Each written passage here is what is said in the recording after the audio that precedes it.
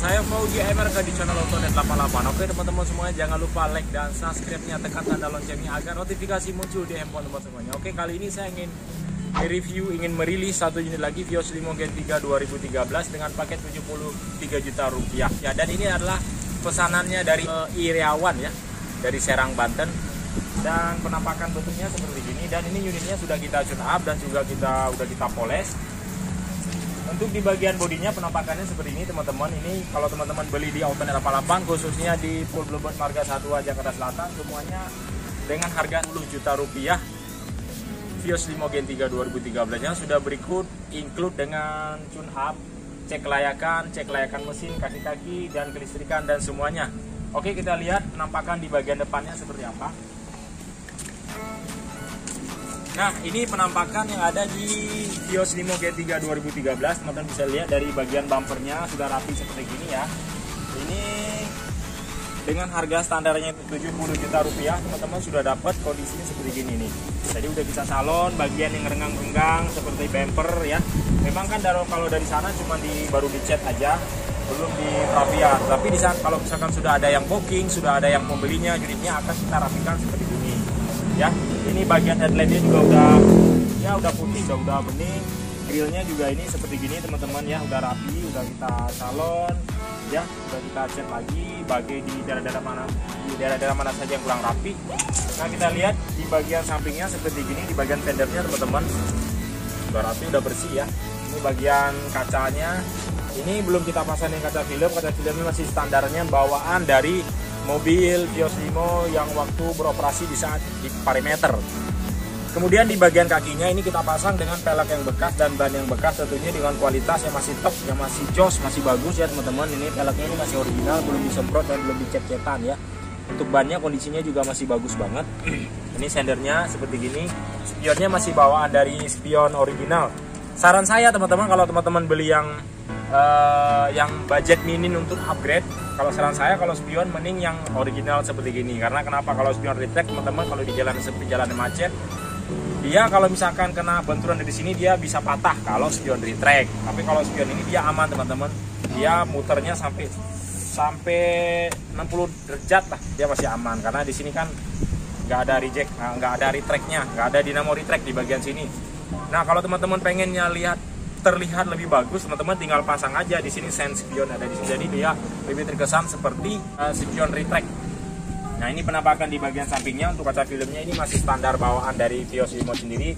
Talang air dia nggak dapet kalau pakai 70 juta rupiah. Bodinya seperti gini udah rapi udah bersih.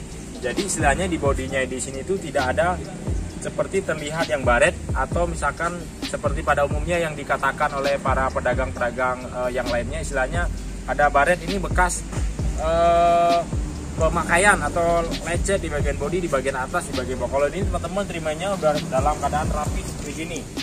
Dengan yang harga standarnya 70 juta rupiah di uh, paket uh, yang 2013 ya. Tampak sampingnya seperti gini ini ada tutup tangki di bagian sini ya. Ini di bagian bumper yang ada di bagian belakang. Teman-teman bisa lihat ini udah rapi udah bersih jadi nggak ada yang apa namanya eh, lekukan-lekukan yang kurang rapi. Ini semua sudah rapi. Ini bagian headlamp uh, belakangnya seperti gini. Emblemnya juga masih bagus. Bumper belakangnya juga masih bagus. Untuk di mata kucingnya sini juga ini masih rapi ya. Mau dihidupkan juga bisa tinggal kita upgrade pasang lampunya.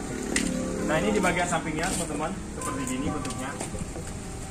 Nah untuk di dalamnya sendiri teman-teman bisa lihat udah kita salon udah bersih.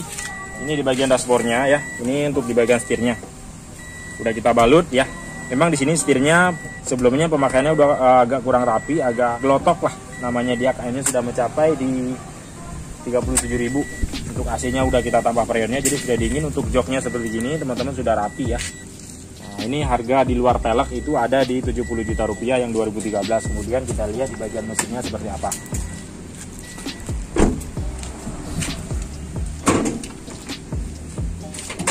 Nah untuk di penampakan mesinnya seperti gini teman-teman ya. Kios Limo Gen 3 2013 warna hitam pesannya Pak Irawan dari Serang Banten. Nah, ini mesinnya kering ya. Untuk engine mountingnya juga aman, bagus. Olinya udah kita ganti dengan oli yang baru, filter oli baru. Di bagian kelistrikannya juga masih bagus. teman-teman bisa lihat ya seperti kabel-kabel di sini sudah rapi semuanya seperti pipa-pipa ya masih mantap untuk akinya udah kita ganti dengan aki yang layak aki yang baru aki yang bagus dan di sini terlihat sekali ya.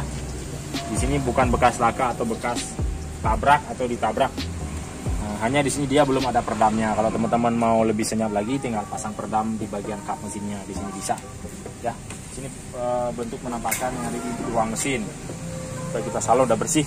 Unit ini unit ini akan jalan sekarang dan uh, pemiliknya lagi on the way menuju ke sini. Ya mungkin uh, sekitar jam 2 jam 3 lah beliau sampai sini dan ini surat-suratnya semua sudah lengkap karena beliau unitnya sudah dibayar cash jadi kalau misalkan unit di sini sudah dibayar cash uh, istilahnya semuanya sudah kita salon sudah bersih sudah kita tune up jadi si customernya tinggal ngambil doang Nah, jadi untuk teman-teman semuanya yang ingin meminang unit Vios Limo G3 2013-2015, kita unitnya masih ready, masih banyak. Hanya untuk Gen 2 itu sekarang unitnya emang udah agak mulai langka ya.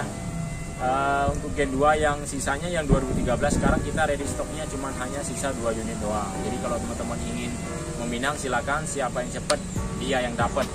Nah untuk teman-teman yang di luar kota silakan telepon saja langsung nanti unitnya akan saya pilihkan yang bagus, yang top, yang jos. Nah uh, nanti kita akan tune up. Setelah di tune up baru teman-teman melakukan pelunasan. Setelah itu baru kita kirim. Harga unit masih di luar harga ongkir. Jadi harga ongkir itu tergantung lokasi daerahnya di mana. Jadi untuk harga itu tergantung jarak jauhnya teman-teman ya. Mungkin cukup sampai di sini. Sampai bertemu kembali di video berikutnya. Jangan lupa like dan subscribe-nya teman-temannya tekan tanda loncengnya agar notifikasi muncul di handphone teman-teman semuanya. Oke, assalamualaikum warahmatullahi wabarakatuh.